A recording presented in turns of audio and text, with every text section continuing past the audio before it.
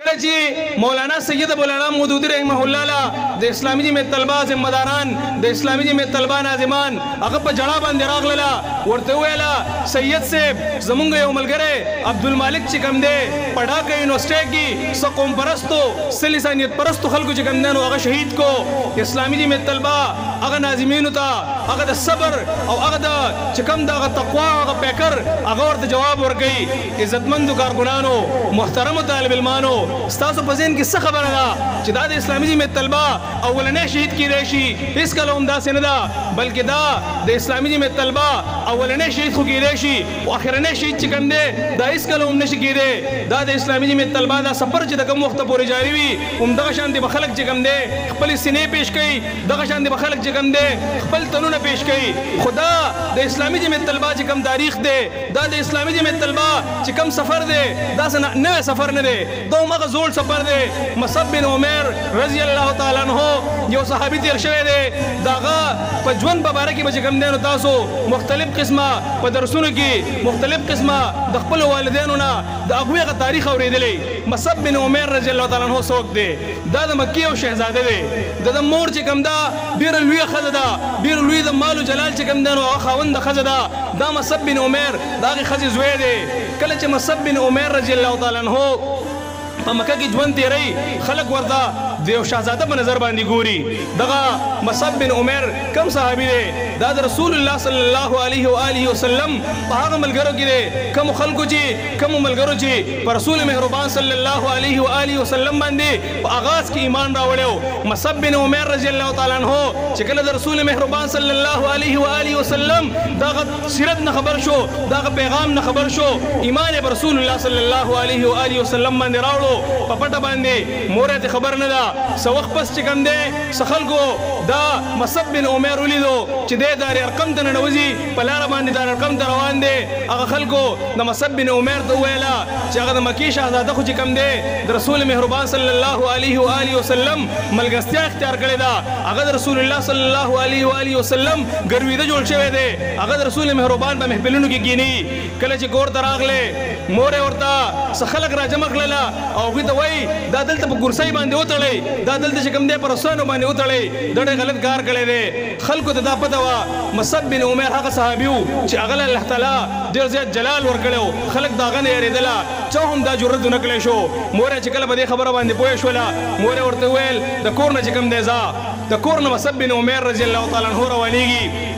د ټولو نه اول خو مور ته يو ناشنا خبره کوي، مور ته وايي، مورې! د دې کور نه خو روانېږم، خو ته مې مور يې، په تا باندې چې کوم دی ډېر زيات خپه کېږم، يو وارې دا ووايه چې لا اله الا الله محمد رسول الله، دا څنګه خلک وو؟ څومره سخته تیرۍ، څومره چې کوم دی په هغه باندې لوی ازمایش را روان دی، د هغه سره د دې خبرې فکر دی چې د لا اله الا الله محمد رسول الله کوم سبق چې ماته پیغمبر مصطفی ښودلی دی، هغه سبق باندې چې کوم دی نو کار آمد پاتې کیدل دي، هغه سبق چې کوم دی نو په هر وخت کې چې کوم دی نو هغه پوره کول دي، دغه مصعب بن عمیر رضی الله تعالی عنه چې کله د کور نه وځي، مور یې ورپسې آواز کوي چې ستا سره څه هم دي دا ټول زمونږ دي، دا ټول څیزونه چې کوم دی په دې کور کې پریږده وه، مصعب بن عمیر ټول هر څه پریږدي. په اخره کې ورته وايي، تا چې په دې وجود باندې دا کومې کپړې اچولې دي، دا کپړې هم زما دي. مصعب بن عمير رضي الله تعالی عنه ورته تاريخي جواب ورکوي، مور يې دومره اجازت راکړه چې لږه غوندې کپړه حاصله کړم چرته په هغه کپړه باندې خپل ستر چې کوم دی دا پټ کړم. خپل له ستر د پټولو د کپړې انتظام کوي، د کور نه روانېږي.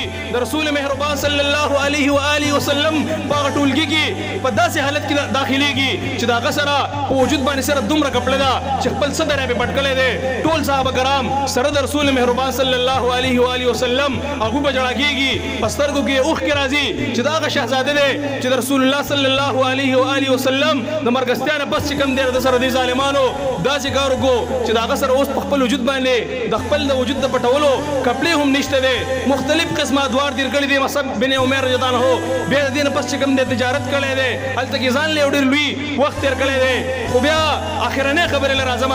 کله چې دا مصعب بن عمیر رضی الله تعالی عنه په غزوه احد کې شریکیږي رسول مهربان صلی الله علیه و آله وسلم ورته د اسلام جنډه په لاس کې ورکړي او د دغه اسلام د جنډې په لاس کې د ورکولو نه معلومېږي دا خبره چې کومو خلکو هم دا جنډه په لاس کې اوچته کړي د کفارو به اولنې هغه نشانه جوړېږي وجه دا وه چې کله د اسلام دغه جنډې ښکته شي نو دې نه معلومېږي داسې چې بیا مسلمانانو فتحه چې کوم دی په دوی باندې مونږ فتحه وموندله مصعب بن عمیر دی جنډه یې په لاس کې ده.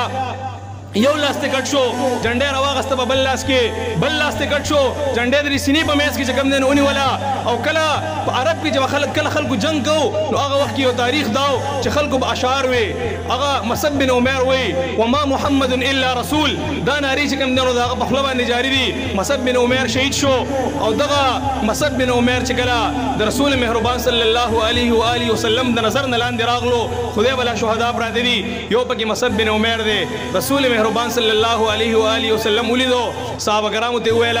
دا هغه مصعب بن عمیر دی چې دا شهزاده و، ده به چې کوم دی، په کومه لاره باندې به دی تېر شو، هغه لاره باندې به خلکو یو میاشت پورې دا خبره کولای شوه، د ډېر وخته پورې به یې دا خبره کولای شوه چې دلته مصعب بن عمیر تېر شوی دی، ده له به مور په یمن کې چې کوم دی نو پېزار جوړو، ده له به مور د یمن نه کپړې راغوښتلې، هغه کپړې چې بل چا به نه وې اغوستلې، یو پېره به یې واغوستې، دوباره به ناوستلې مصعب بن عمیر دی مختلف خلک چې کوم دی مختلف قسمه خبرې لیکي یو رایټر دا خبرې لیکي څه خلک راغلي دي د حمزه رضی الله تعالی عنه لپاره یې کپړې راولي دي د کفن